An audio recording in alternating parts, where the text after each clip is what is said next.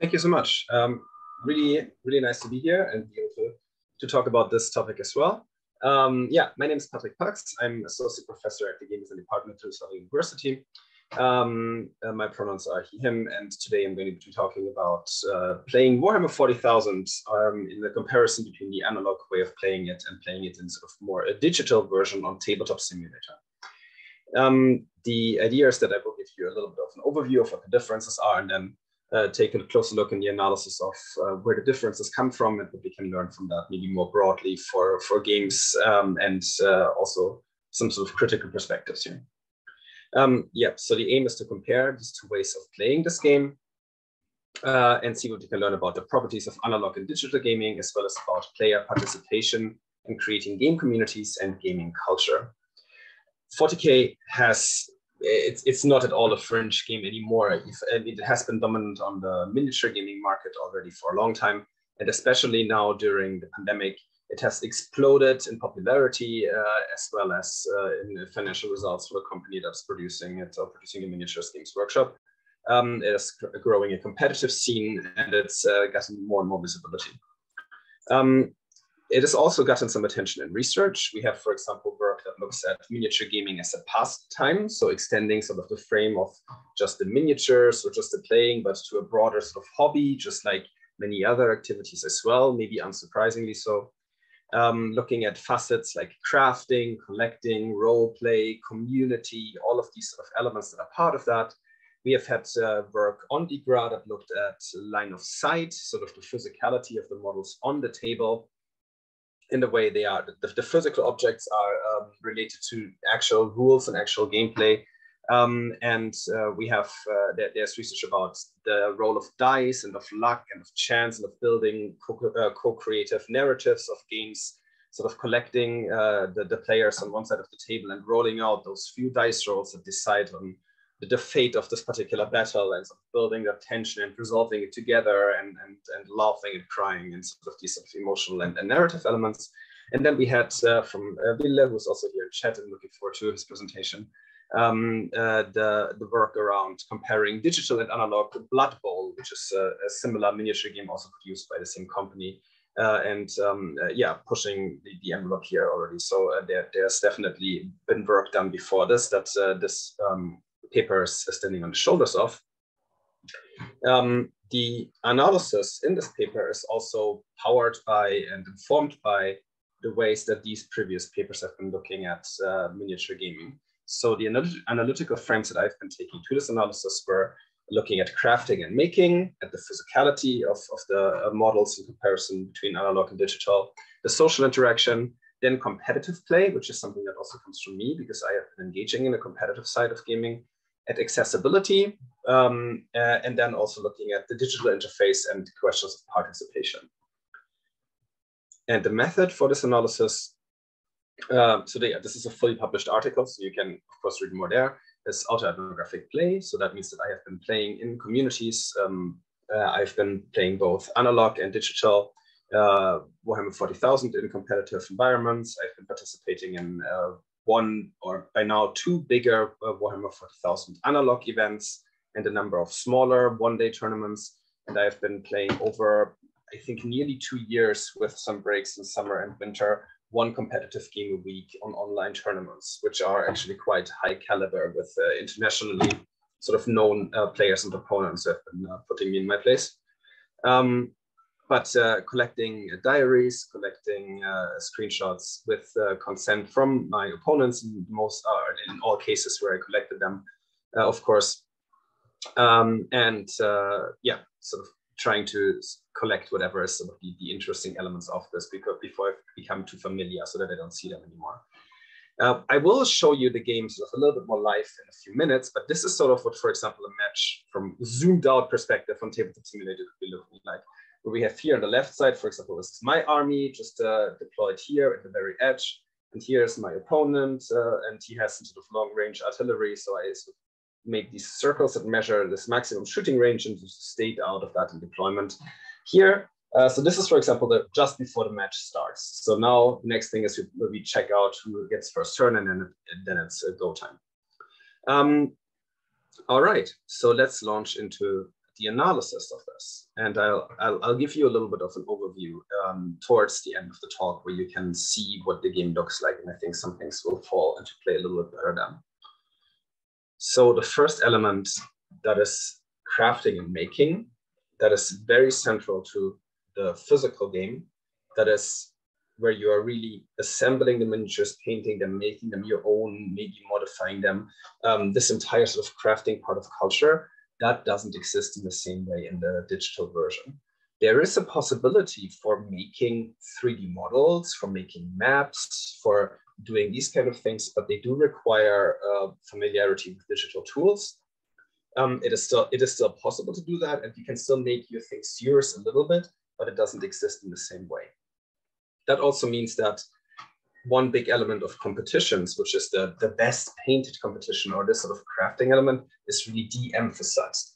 And in, in competition, everybody's models are for the most part downloaded from the same um, library of models where people can, can pick whatever they want to play. And really this, this crafting and making element is, is uh, de-emphasized. This is a little bit sad as well, right? Like, uh, on, and it also on the one hand makes it easier to play, but it also takes away something. Like this is my favorite miniature that I own and, and painted. Um, so this is sort of the, the, the best that I could achieve so far. And while it is tricky to get an army painted and ready uh, and, and uh, ready to play, it is also nice. Like, I mean, I'm, I am sort of quite emotionally attached to this little guy over here that I, that I painted up with this purple purple hair that is sort of uh, having its, its own own armor covering it. Uh, so, um, but yeah, that that doesn't exist in the same way. So this is something that that cannot quite be replicated, right? Instead, we have uh, miniatures that are have been scanned in or been 3D modeled and created in various ways that can be picked up from big tables to make your armies and get them ready and just use them to play. That, however, doesn't mean that there isn't any physicality of these models in the game. The elements like drawing line of sight and aiming over the shoulder, going down to the table and looking through the eyes of the miniature, as it is put in previous literature, that still exists. And one does that on the table, like all the time. Um, other elements that change is that there's less stigma around touching models. In the analog game, it is basically a taboo to touch somebody else's models without permission uh, or without consent because they are valuable, they're fragile. Also, you shouldn't, of course, bump anything while the game is playing because it would change the game state. Um, but yes, you should never touch anything without without asking first. So, for example, when coming with kids to a tournament, that is like sort of the rules. That you, can, you, cannot touch anybody else's toys without asking them first, which is kind of strange because they are toys, right? Just adults' toys that they are very emotionally attached to. Um, so uh, there, there is this physicality of coming to the table and of looking over the over the ice. So here's like an artillery piece, and I want to see can I can I shoot at these guys over there that are hiding between the walls, or can I see these guys in the back? Oh yeah, I'm coming down and looking over its shoulders. Yes, line of sight is there. They are uh, they are acceptable targets. The social interaction is also something that is still very much there. We still have this shared storytelling um, that is there when there's an important dice roll happening, for example. Um, if uh, it's really deciding the game whether or not I am getting this charge and um, maybe able to, to take out my opponent's general or not there's the same moment where both people come to the same side of the table and look at and drop the dice into the dice roller and see what the result is. And have the same sort of emotional reaction, oh yes oh no like this is like it's that that is sort of still happening. And that is very very similar to the analog version. The spaces of course aren't quite the same. Then we, meet on discord servers. Um, and tournaments, online tournaments are often uh, meeting spaces around which everything is organized. So that's also where competitive pushes itself a little bit in, but that is still there. And this is what this dice roller looks like. I explained that a little bit more in a paper, but it's an interesting tool to maintain some of the social uh, and sort of narrative building dynamics of rolling the dice. It doesn't give you just a readout, but you have the actual dice drop them in the box and then see the result here. So that, that is an interesting way of designing this, I think, where we can learn something from to keep these, these analog moments of story uh, and, and narrative building even in the digital world. Um, competitive play is a very central element here, uh, partly because my data collection focused on that and my access to the community focused on that, but also because that is what or what lots of the community was organized around. That of course means that there are certain blind spots, for example, for narrative play, for more hobby engagement with it. But it also shows that the digital has a lot to offer here. there's the very, very easy possibility of just picking up new armies and miniatures and trying out new crazy builds that in reality you would have to play, pay hundreds of euros and spend hundreds of hours painting before ever getting the possibility to seriously try this on the table. This also means that the meta game is harsher because people will very, very quickly pivot to the strongest possible armies and put them on the table 10 minutes after a rule change, which is just impossible analog, right? Um, and you have in these tables, for example, also rules documents that include the rules, the scoring, all of that already into the table as it's being built, which makes it much easier to play. Um, so the next element here that I would like to talk about is accessibility. I mentioned already that it's it's not as possible to craft armies to, to build and, and uh, create your miniatures like that, but that is also reducing the barrier to entry it means that I don't need to, if I want to take an army to a tournament, make sure that every little soldier has the right weapon in their hand, or if they don't, break them off and put another. Um, there is a particular minimum standard that is both somewhat enforced in tournaments, to, that your uh, miniatures have to have three colors and be played, in order, uh, be based in order to be played. And that can be, at least I experienced that as a lot of pressure to get that ready to be even able to participate. I, I have a job, I have family, I have children like getting my army, my toy soldiers painted to the correct standard is from my perspective, oftentimes experienced as some sort of gatekeeping and sometimes even bullying. Like there has been an event, for example, at a tournament where I was in a competitive game and somebody from another table came over and commented on one of, one of my miniatures not being quite quite up to, to specs in terms of painting. And I was like, I mean, wasn't super throwing me off. It was just like, okay, wow, we're policing these that is that was a bit un, uh, unexpected for me. So that is happening. Um, the financial costs of getting an army uh, that is playable is at least 400 euros, I would estimate, for a 2,000 points of competitive army to put that on the table. And in PC games, uh, in, in the computer, it's free. You can download them you, as long as you can find them with some access. If you find a competitive server that will show them to you, you can get them, right? And I know what I'm talking about. I'm just turning around here a little bit. So here you can see my sort of issues with collecting too much plastic uh, on the on the screen here in my yeah in my my picture uh, profile picture. So this is just one like this this continues, you know, like this is get worse.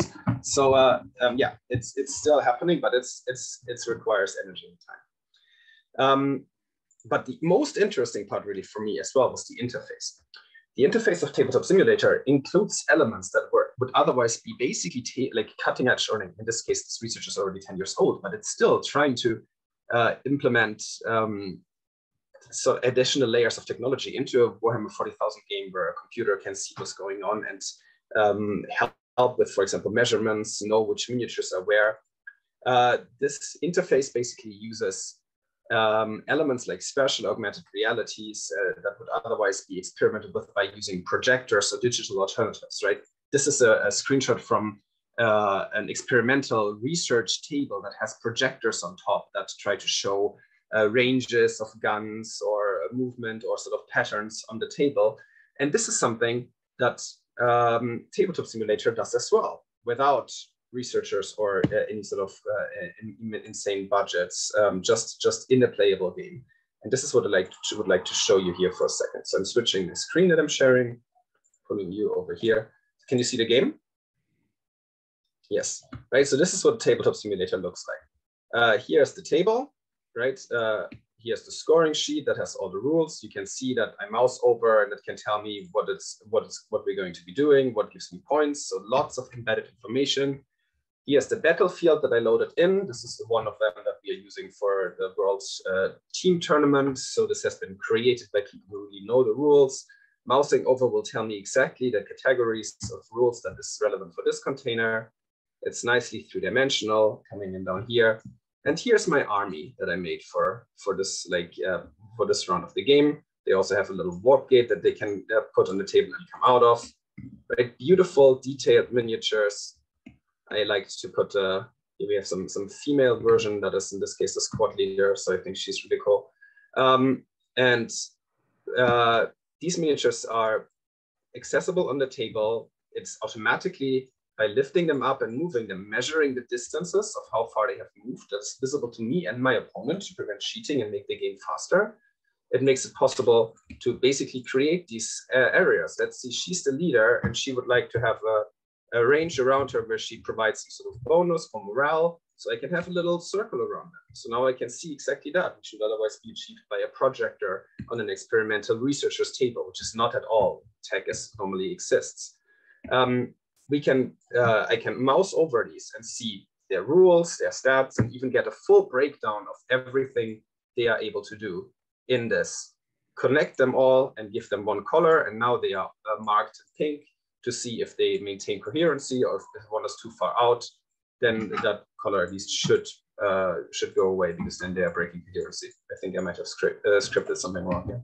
So it's a lot of really interesting elements that are already part of this here if they get jumbled up, oh, no problem. Press the button, have them arranged in a way and set up again. So really amazing uh, interface elements that would otherwise be cutting edge uh, technology here already in the game. So switching back to uh, PowerPoint. Um, so, and I think that is really an, an interesting element here. And this is done and it's possible because there's a linking up of infrastructure from a lot of different spaces that is all player made. Battlescribe, an app in my phone that I use to make my army and sort of pick what I want to have in it, gets and this is a this is just an app that allows these sort of files to become visible, but all the files in the background are player created, added by players, maintained by players. When new rules come out, very quickly updated. These can be with a piece of infrastructure that is created by you guessed it, a player. We load it up. Now here we have already the, the stats for my leaders, for my next army, and loaded up into the game. I can find all the miniatures that are relevant uh, over um, the relevant Discord server on the Battle Forge that brings me to um, uh, depositories where I can download all the files, beautifully rendered uh, 3D models of new released uh, in uh, new released uh, miniatures that have just come out already available just days after and then inscribe in the way that you saw the rules onto them on the table to create all of these effects that would otherwise go beyond what research could be doing on experimental uh, projector or uh, digitally enabled tables. So my conclusion here from this study, and there's basically twofold. First of all, the digital game is defined by networked player creativity the thing that really changes what this game is is that players can band together fuse in this sort of interesting assemblage of technologies and platforms um, their creativity their, uh, info, uh, their their abilities together and make something new so really the the creating participatory creation of culture and the differences between analog and digital are the same here that is what is the the big difference right it's possible to make uh, to play this game and put an army together within minutes, which is completely impossible in the analog uh, analog play. And the innovation, these innovative tools come from player creators.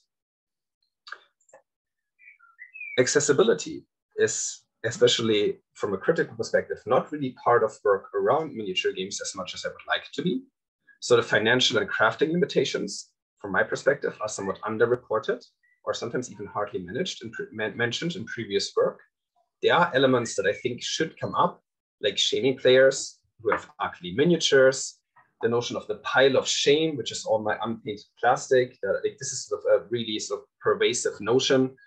Questions of plastic addiction, where people just buy too much, power creep, we know that, like uh, the company releasing new miniatures and even questions of lifestyle games and exploitation where rules updates are so frequent that people have to spend their entire time keeping up with them in order to be able to play, locking them out of maybe other activities or sort of uh, maintaining this as the core game in this space instead of other maybe more interesting and participatory cases. So in summary, when playing 40,000 or Warhammer 40K on Tabletop Simulator, the player community and participatory design, that is what makes YouTube's battle ready. That's what makes this game function here. The difference between the analog and the digital is the digital information networks on the one hand, but also that they are still somewhat free for the players to make their own game. And that is not because Games Workshop allows that. They have been trying to cut down and come down on this. Uh, that's also what makes the makes it harder to play the game because players need to hide their files so that they cannot be taken down um, by, by lawyers. Um, yeah, more to the point, games can be awesome when they are set free. The death digital rights management along with the players. Yeah, that's me.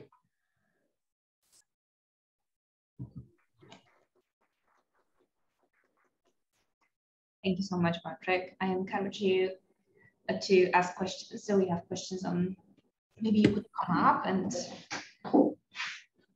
Uh, stop sharing. Uh, hello. Uh, first of all, thank you for looking into this. This is uh, I found this really really interesting, and this kind of comparison was uh, well very much due. I think. Um, I'm curious if you've noticed any like playing Warhammer 40k on TTS, uh, obviously, like you say, introduces many other contextual elements. Um, do you notice like a shift in the culture around playing Warhammer 40k? Is this the same people just shifting their games on TTS, or does it has it opened up for a new kind of player who only plays on, on TTS, given the accessibility uh, elements that you just just mentioned? Uh, excellent question. Thank you. I just have a little visitor here. Um, uh, I think it's partly both some of the communities, the competitive communities, are basically or started as extensions or continuations of the competitive communities to keep existing during Corona, right? So I think that was one thing that really sort of made them explode in size. But that's not the only thing. Many people realized that, wow, this is a possibility and then stayed that way. Um, as an example, right, we have the, the, the Copenhagen uh, competitive community is quite big in the north here. And now they run this ongoing tournament circuit. And I think now it's the 15th or 16th tournament in a row with one game a week, four games in a tournament. So every month is basically a new tournament. I played in the last few. My son, 13, also played in the last one. He finished on Monday a game against a Singaporean businessman, right? I mean, that that wouldn't be possible otherwise. And these sort of affordances aren't going to go away because now we can meet again because they are awesome and people stick with them. So it started based in the existing competitive community, but now it's become its own thing and it's become something. Cool. Thank you. Thank you so much. Do you have any other questions in the room or on the chat or online? Yes. Um, hello, thank you for the presentation. I just have a question like what why in your because all of it seems to, too good to be true. Um, and why in your opinion do you think games workshop doesn't capitalize on that and doesn't make like their own virtual tabletop warhammer with you know our dlcs for armies and so on so so they could make money uh, however the, the, the gamers will would, would play their game? Yeah that, that, that's about it uh, I think that's an excellent question. Um, I think uh, for the most part, Games Workshop is trying to become a company that is extending its, its IP into these sort of digital spaces as well. I think they're making a bid to become some sort of platform for um, uh, for board gaming or miniature gaming with their subscriptions and things like that. But that is sort of the more dystopian platform capitalism talk, right? That, that I didn't want to deliver here. Uh, but uh, I think for the most part, it's just that they can't do it um, because player creators, networked, and then come together are just better. Even basic battle scribe, right? The first step in this connection and assemblage of player created infrastructures is way better than the uh, app that Games Workshop is pushing us trying to do the same thing. Even though they have direct first access to the rules, they just can't make it work. It's sort of notoriously horrible. So, yeah, players collectively are just better.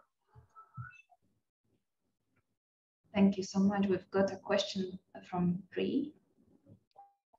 Uh, great talk, uh, Patrick. Thank you so much for that. Um, I was just wondering, what are your thoughts on what the future of Warhammer 40k will be like? Do you think there will ever be a point in time where it will go fully digital, or do you think it's always going to sort of exist in this hybrid kind of model? I think the uh, I think the digital and the analog will hopefully stay parallel next to each other. I think the analog is always going to exist because while the digital offers some elements of sociability, it's still not quite the same as meeting a friend and you know having a beer afterwards or whatever your preferred beverage maybe you know like uh, so it doesn't quite replace that um, but I, I hope that it continues to go and keep existing in parallel it is now for many people training for competitive play but it's also making it possible to continue playing over distances right uh, in the same way in which i think that people will come together to play dungeons and dragons because it's nice well, if you're locked up or if you play with your friends far away, then over Zoom will also be nice. You know, it's like it's not quite the same thing, but it's also valid. Um, for the future, I hope that the fights around ways of internalizing profit and, and shutting down uh, player created contents will not destroy the space because we've seen too much of that happening in other spaces. And I, I hope that won't be the case. Thank you so much for your excellent question. No, thanks for that answer Thank you. It's finished.